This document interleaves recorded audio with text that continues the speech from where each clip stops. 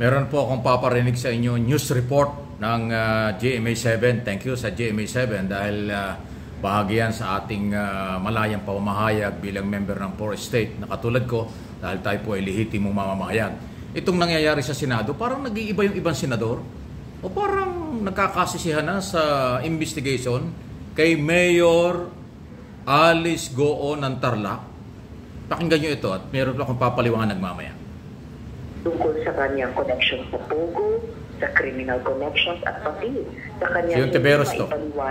Senador. uh, na kayamanan. Mas uh, magiging solido na yung aming mga, mga findings at magiging recommendations. Kino-question ni Senate Minority Leader Coco Pimentel kung bakit naging tungkol kay Go ang pagdinig na dapat daw ay ibalik sa Pogo. Dapat aniyang ipaubaya ito sa korte. Ang usapin naman sa yaman at buwis, pwede aniyang idaan sa Solgen Gayon din ang question sa kanyang citizenship kung posibleng katiwalian naman, ombudsman ang dapat umanong tumalakay. Sabi naman ng Filipino-Chinese civic leader na si Teresita Angsi, tila nalihis na ang investigasyon ng Senado sa Pogo at tila naging sarswela. Aniya, hindi raw maganda sa imahe ng Senado ang tinawag niyang witch hunt at personal na atake. Tanong niya, hindi ba dapat nag-background investigation muna ang Senado?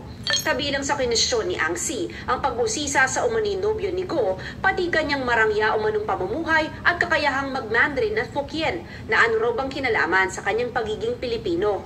Kinikilala niya ng konstitusyon ang mga may Pilipinong ina bilang Filipino citizens, kaya huwag sanang mapuntirya din ang iba pang Chinoy dahil sa politika. Tugon ni Hontiveros sa isang pahayag, hindi ito atake sa mga Pilipinong may dugong Chinese, sabay sabing purong Chinese ang kanyang lola sa tuhod. Hindi raw ito witch hunt o politika, tungkol daw ito sa national security, kriminalidad, accountability at ang kabiguan ng sistemang i-regulate ang mga pogo. Sabi niya ngayon, mahalaga pa rin malaman kung Pilipino o Chinese talaga si Go. Importante yung itanong dahil si Mayor Alice na walang maayos na record dito sa bansa ang siyang naging instrumento para makapasok ang napakalaking kumpanya ng Pogo sa Pilipinas. Na ayon sa Intel, no, ay sangkot naman sa surveillance at hacking activities, lalo na sa mga government websites. Kaya bagamat hindi patiyak, malamang daw na paharapin pa rin si Go sa magiging executive session ng Senado. Imbitado rin ng ilang law enforcement agencies, kabilang ang Justice Department, PNP at National Security. Ayun, So actually, uh, well, si uh, Teresita Angse na isang uh, Filipino-Chinese uh, uh, na aktibo nung araw, aba ngayon pala lumulutang, kumukontra siya, nagdududa siya sa hearing.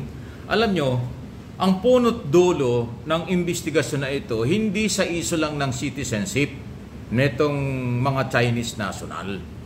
Kung hindi ang issue rito at pinanghuhugutan dito, national security internal, external security dahil sa pangmamasok, pang uh, pananakop ng People's Republic of China sa West Philippine Sea. Yan po yun eh.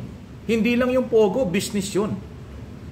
Ang du pagdududa rito, baka espiya, baka pakawala itong mga Chinese na ito na dumating sa ating bansa. Yan ang inaalam at may karapatan ang mga senador na alamin ito in aid of legislation kung may mga batas na nakakalusot, nalulusutan o dapat gawin.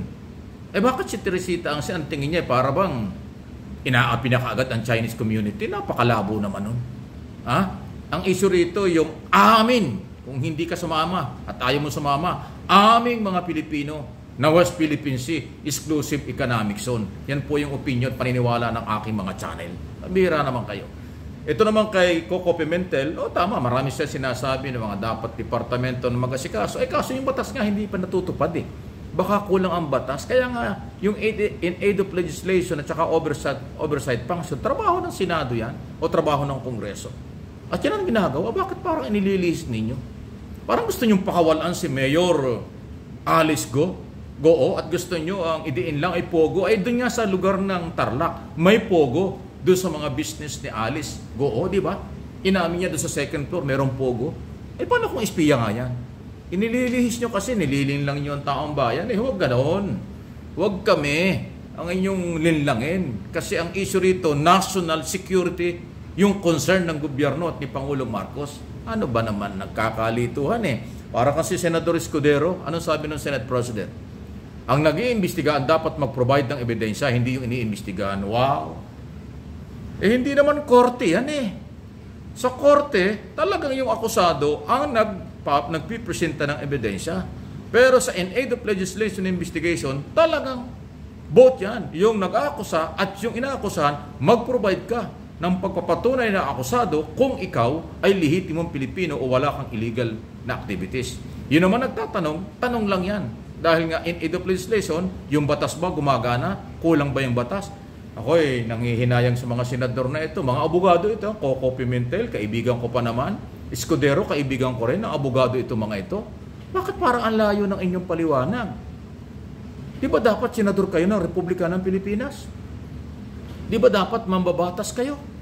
Bakit parang lumilihis? Ha? Saan kayo papunta? Eh kung kayo papunta sa China, huwag niyo kaming isama. Kung ayaw niyo sa West Philippine Sea, ay ayaw din niyo kami isama. Kami ay naninindigan under President Marcos, under national law, international law, at mga Pilipinong nagmamahal sa ating bayan tungkol sa national security. At huwag tayong maagawan ng anumang property, hindi lang sa West Philippine Sea ng China. Yun yung issue dyan eh. Yung Pogo, ano lang yan, front lang yan, yung Pogo. Nung nakaraang gobyerno, kaya nga dapat mawala na yan. Kasi involved sila sa mga illegal activities, hindi naman sa lahat ng pagkakataon. Di ba ang linaw nun? Aba, mukhang, mukhang may mga gumagalaw na pati tayong taong bayan ni gustong ilihis nitong mga politikong ito. Huwag tayong, huwag kayong padala.